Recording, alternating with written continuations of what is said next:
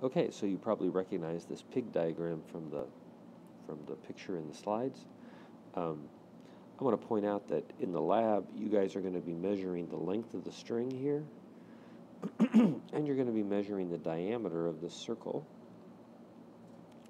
But the math that we used to solve these guys in the uh, from the theory involves the radius. So the radius of the circle is of course going to be half the diameter. So pay attention to that. When you measure the diameter, recognize that the radius of the circle is actually going to be half that. Um, the other thing we should note is that if you know the radius of the circle and you know the length, of course you can work out the angle theta. So it's oftentimes convenient to, to work with the angle theta than more so than it is to, uh, to work with the radius of the circle and the length of the string. So Let's, uh, what I want to focus on in this example is simply the free body diagram of the darn pig.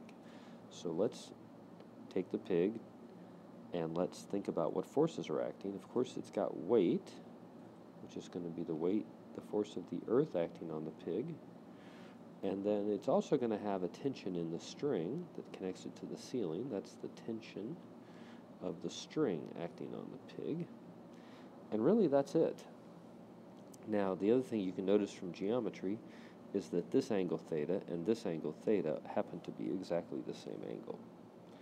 So we can simply write the momentum principle as the dp dt is equal to the sum of these two forces, the tension plus the weight. But as we've done in the other cases, it's convenient to break this guy up into x and y components. So let's go ahead and do that.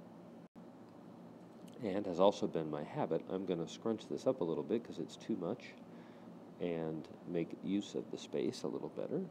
So let's write out the x component of dp dt and the y component of dp dt. The x component, of course, just says dpx dt is equal to the x component of the tension, which I think you can see is the tension force times the sine of theta.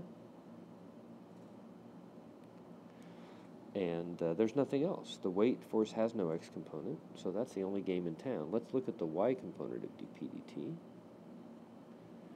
Now there's two folks, there's two forces that have y components. The tension has a y component, t times the cosine of theta. And of course the weight has a y component, which is downward, which is minus mg. Now in the y direction, there's nothing happening. The pig is not going up or down. It's not changing its y component of momentum. So I can replace this guy with a zero. In other words, these guys add up to zero. But in the x direction, the pig's moving in a circle. In the picture on the left, you can see that at that moment, which is where I have the free body diagram, at that moment, the direction toward the center of the circle is to the right. So just like we did with the uh, merry-go-round, this is going to end up being mv squared over r, but in this case, because of the, where we've drawn the diagram and the moment in time we chose to draw the free body diagram, um, that's going to be a positive mv squared over r.